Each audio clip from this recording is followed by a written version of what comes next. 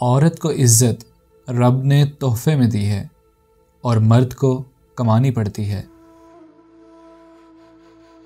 इंसान की दो ही कमज़ोरियाँ हैं, बिना सोचे अमल करना और सोचते ही रहना, अमल ना करना।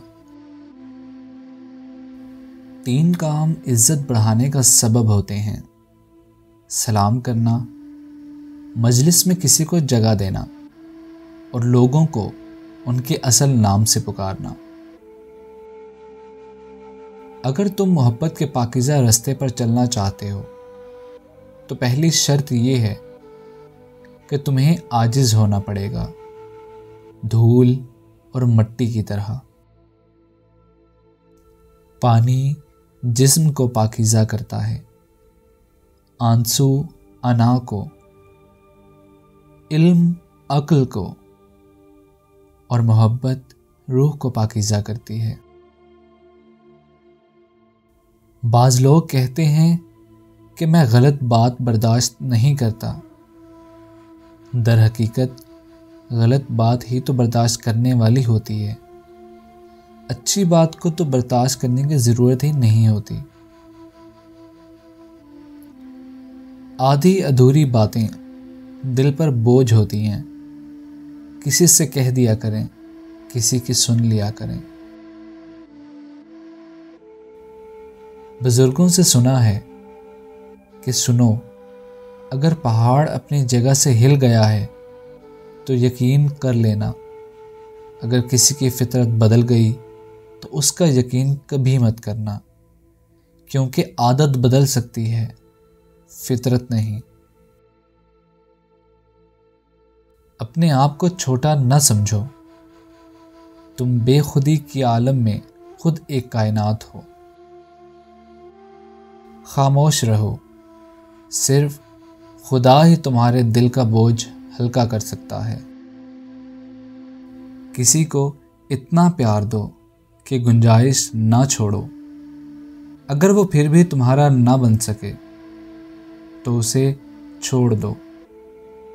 क्योंकि वो मोहब्बत का तलबगार ही नहीं, वो ज़रूरत का पुजारी है। अच्छे रिश्तों को, वादों और शर्तों की ज़रूरत नहीं होती। इसके लिए बस दो लोग चाहिए, जिनमें से एक भरोसा कर सके और दूसरा उसे समझ सके।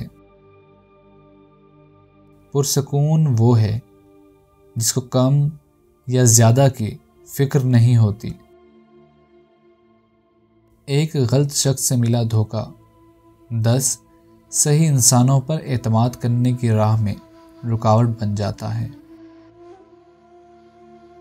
दिल से गुफ्तगु का जोश उठना दोस्ती की इलामत है।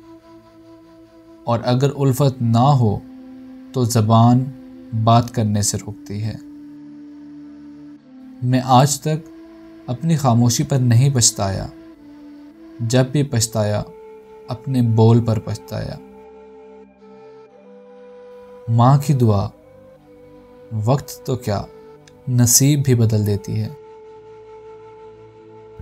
जो तुम्हारे औसाफ बयान करे, जो तुम में ना हो वो तुम्हारे ऐसे ऐप भी बयान करेगा, जो तुम में नहीं। जब अकल पर पर्दा पड़ जाए तो समझाने वाला आदमी सबसे बुरा लगने लगता है। मोहब्बत करना इंसान के बस में नहीं होता, मगर मोहब्बत को निभाना इंसान के बस में होता है। आपके इर्द गिर्द कोई मजबूर, परेशान हाल या मुसीबत ज़दा है तो मत समझें ये उसकी आजमाइश है। ये आपकी भी आजमाइश है। अंधी मोहब्बत हो या अंधा एतमाद, दोनों इंसान को गहरी खाई में गिरा देते हैं। कभी कभार बहस करने से बेहतर है जो आपको जैसा कह रहा है, आप वैसा तस्लीम कर लें, क्योंकि वक्त के पास बेहतर जवाब होता है और कानों के कच्चे लोगों को वक्त ही जवाब देता है। ये अजीब फ़लसफ़ा है कि लफ्ज़ों से ही खामोशी टूटती है और लफ्ज़ ही खामोश कर देते हैं। किसी रिश्ते को कितनी भी मोहब्बत से बांधा जाए, लेकिन अगर इज़्ज़त और लिहाज चला जाए तो मोहब्बत भी चली जाती है।